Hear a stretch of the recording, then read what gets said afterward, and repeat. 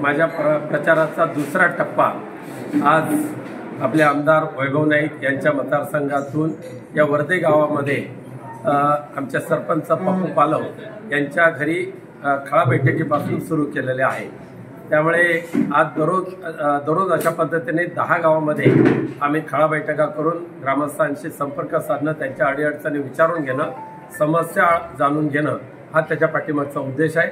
आणि सोळा एप्रिलला रत्नागिरी येथे सकाळी अकरा वाजता अकराच्या नंतर उमेदवारी अर्ज दाखल केल्यानंतर अठरा एप्रिलपासून पुनश्च एकदा जाहीर सभांचा धुमधडाका उठेल आणि सात मेला जे म- मतदान होईल त्यामध्ये प्रचंड मताधिक्याने मशाल विजयी झाली होईल अशी मला खात्री आहे.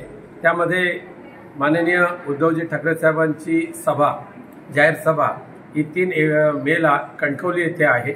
माननीय आदित्यजी ठाकरे यांची सभा चार मेला सावंतवाडी येथे आहे आणि सकाळची सभा रत्नागिरी किंवा देवरुखला असेल.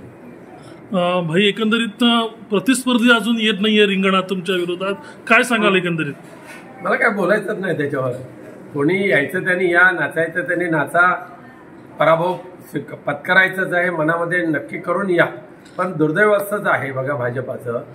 आमचे आमदार वैभव नाईक नेहमी सांगतात की एक केंद्रीय मंत्री चार राज्यातले कॅबिनेट मंत्री दोन महामंडळाचे अध्यक्ष एवढाच एवढा मोठा लटांबर असताना सुद्धा या मतदारसंघामध्ये त्यांना लोकसभेकरता उमेदवार मिळू शकत नाही हे त्यांचं अपयश आहे आमचं नाही. नारायण राणेंना तिकीट मिळण्यासाठी रवींद्र चव्हाण जे आहेत ते खूप आग्रही दिसतात. कसं बघताय तुम्ही? मला काय तिकडे बघायचं कारणच नाही. मी बघतोय माझ्या विजयाकडे माझ्या सहकाऱ्यांना बरोबर घेऊन. भाई मुख्यमंत्री नॉट रिचेबल झालेत. हो होणारच होते ते. कायम होणारच नॉट रिचेबल आता अजितदादा सुद्धा नॉट रिचेबल होतील बघा. भाई तुम्ही एक आरोप केला आता खळा बैठकीमध्ये की कोरोना काळात एस एस पी एम कॉलेजमधून जे रुग्ण निघाले त्यावर बराच घोटाळा झाल्याचा आणि जे मृत्यू पडले यासंग तुम्ही बोललात. काय सांगाल? होय.